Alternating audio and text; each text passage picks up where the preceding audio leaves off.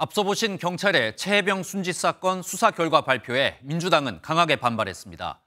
경찰의 수사가 짜맞추기였다며 특검의 필요성을 다시 한번 강조했는데요. 경찰 발표를 존중한다고 밝힌 대통령실은 빠르면 오늘 최혜병 특검에 거부권을 행사할 가능성이 제기됩니다. 표선우 기자가 보도합니다. 민주당은 경찰의 임성근 전 사단장의 불송치 결정에 답정너식 맞춤형 결론이라고 강하게 반발했습니다. 경찰은 이러려고 수사를 1년이나 끌어온 것입니까? 이러한 깜깜이 수사 결과를 납득할 수 있는 국민이 누가 있겠습니까?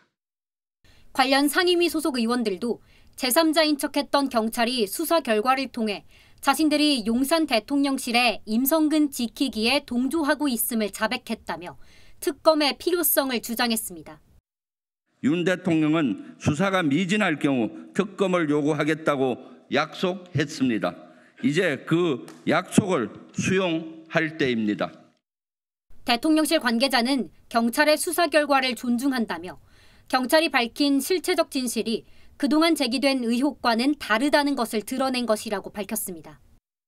국회 운영위에서 대통령실 참모들이 윤석열 대통령의 외압이 없었다고 말해 경찰 수사에 가이드라인을 준 것이냐는 지적엔 억지 주장이라고 선을 그었습니다. 대통령실은 이르면 오늘 최혜병 특검법에 대한 거부권을 행사할 것으로 보입니다. 민주당은 내일 기자회견을 시작으로 시민단체와 함께 여론전을 이어가는 것은 물론 최혜병 순직 일주기인 오는 19일 법제사법위원회에서 윤석열 대통령 탄핵 소추안 청문회를 추진할 계획입니다. MBN 뉴스 표선우입니다.